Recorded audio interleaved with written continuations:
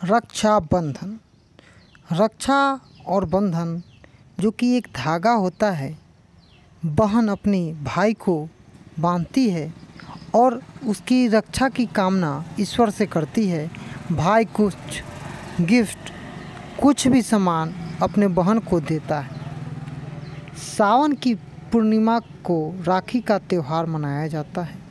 उषा अपनी सहेलियों के साथ राखी लेने बाज़ार गई बाज़ार में खूब चहल पहल है।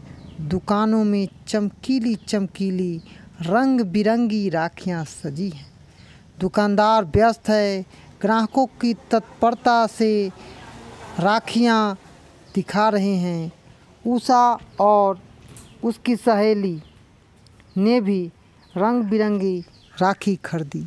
वे अपने भाइयों की कलाई पर राखी बांधेंगी। भाई भी उन्हें कुछ उपहार देंगे। उषा के भाई जमशेदपुर से आने वाले जब कभी सड़क पर कुछ आवाज़ होती उषा दौड़कर दरवाजे पर जाती और सड़क की ओर देखती। भाई को न आते देख वह निराश हो जाती। उषा सोचने लगी, क्या बात है? भैया अभी तक क्यों नहीं आए? आज मैं उनको राखी बांधूँगी। उषा को उदास देखकर माँ ने कहा, कोई बात नहीं है उषा पहली गाड़ी निकल गई होगी, थोड़ी देर में दूसरी गाड़ी आने वाली है। प्रभात ज़रूर आएगा। माँ यह कह रही थी कि हाथ में अटैची लिए प्रभात भीतर आ गया। भैया को देख उषा बहुत खुश होती है। अब जल्दी से नहा लीजिए भैया।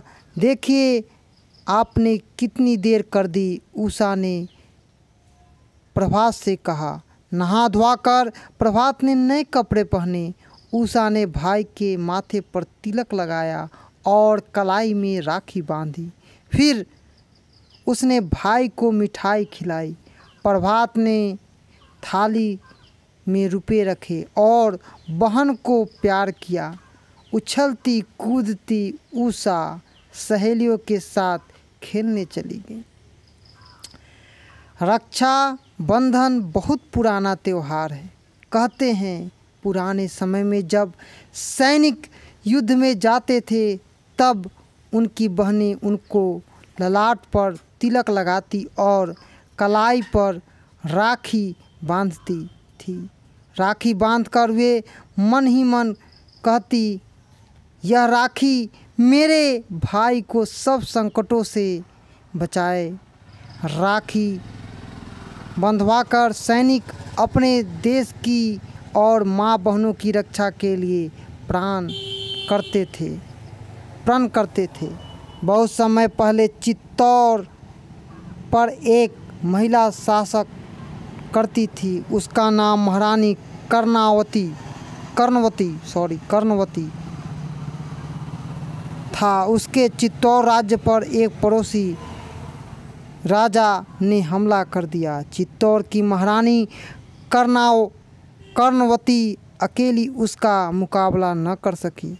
उसने दिल्ली के बादशाह हिमायू को राखी भेजकर सहायता के लिए बुलाया। राखी मिलते ही हिमायू ने सब काम छोड़कर अपनी बहन कर्णवती की सहायता के लिए चल पड़ा।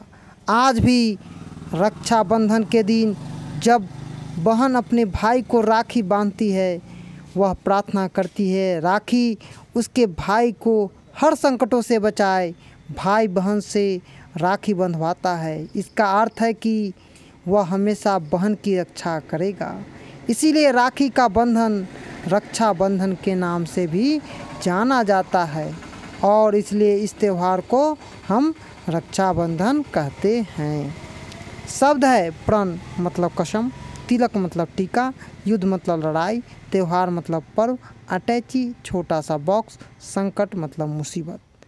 यह पाठ आप न्यू एजुकेशन पॉइंट के तरफ़ से देख रहे थे। धन्यवाद, जय हिंद, जय भारत।